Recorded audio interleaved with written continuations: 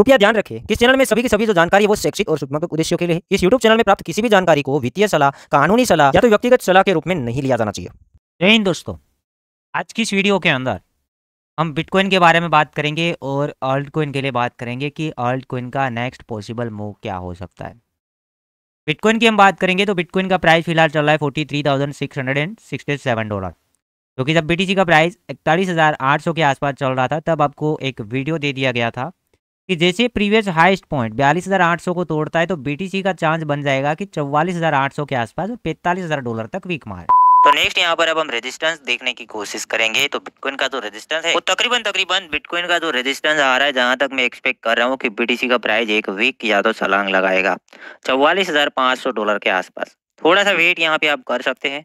जैसे highest point है, बयालीस हज़ार आठ सौ के आसपास क्रॉस करने की कोशिश करता है चार आवर्स टाइम फ्रेम के अंदर। एक स्केल्प टाइप का ट्रेड खेल सकते हैं। यहाँ पे एंट्री लेके यहाँ तक का वेट कर सकते हैं जो कि क्योंकि बीटीसी का जो एनालिसिस है ठीक ठाक चल रहा है। और जब पैंतालीस हज़ार डॉलर के आसपास आए तो थोड़ा सा यहाँ पे नज़र रखना है कि क्या इसको बड़े लेवल पे ब्रेक कर लेता है या तो रिजेक्शन लेना स्टार्ट हो जाता है। अगर बड़े लेवल पे ब्रेकआउट करता है तो बीटीसी का जो नेक्स्ट लेवल बन जाएगा फोर्टी नाइन थाउज़ेंड डॉलर के आसपास का। Again forty nine thousand dollar के आसपास। और रिजेक्शन बनेगा तो हम टेलीग्राम के अंदर आपको अपडेट करेंगे, क्योंकि यहाँ पे आ रहा है रेजिस्टेंस यहाँ पर हमें डायरेक्टली कंफर्मेशन के साथ ट्रेड लेना होगा। तो आप अब नज़र रखें, पैंतालीस हज़ार डॉलर के ऊपर अगर आपने ट्रेड लिया है तो वहाँ तक आप क्लोज कर सकते हैं प्रॉफिट बुक कर सकते हैं, और आपके ऊपर डिपेंड है, क्योंकि मैं कोई फाइनेंशियल एडवाइज़र नहीं हूँ। और फिर ब्रेकआउट के बाद अगेन ट्रेड लेने के बारे में सोच सकते हैं, या तो रिजेक्शन लेता है तो उसकी तरफ़ ट्रेड लेंगे। ब्रेकआउट मिलेगा उसकी तरफ़ हम ट्रेड लेने की कोशिश करेंगे।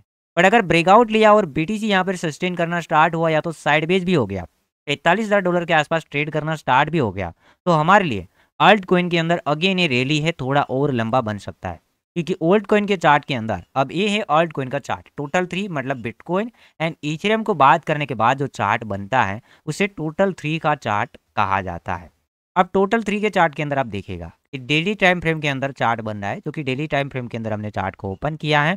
टोटल थ्री के अंदर हम देखेंगे तो फ़िलहाल 493 बिलियन डॉलर के आसपास इसका मार्केट कैपिटलेशन बन चुका है।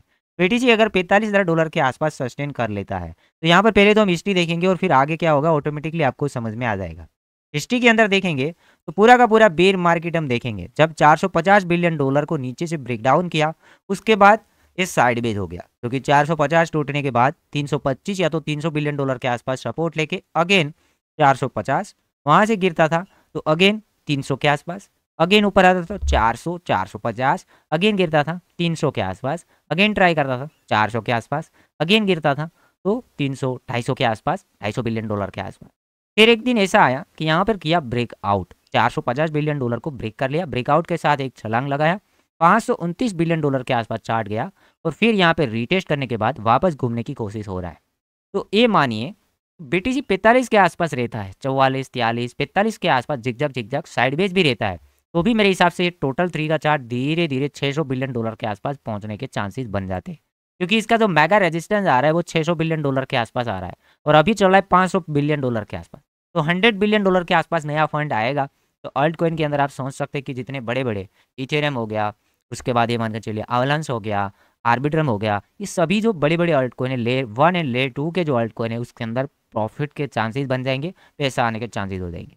तो भी दोस्तों, यहाँ पर फोमो के अंदर नहीं आ ना, जैसे हम पहले भी बात करते थे, अभी भी बात कर रहे कि दोस्तों, आगे जाके एक आध करेक्शन बन सकता है। करेक्शन की बात आपको कर दी थी कि जनवरी से लेकर मार्च के बीच में, जनवरी में हरका फुरका तीस चालीस परसेंट का करेक्शन हमें देखने को मिला हर एक अल्ट कोइन के अंदर बट इससे भी बड़ा करेक्शन आगे जाके देखने को मिल सकता है।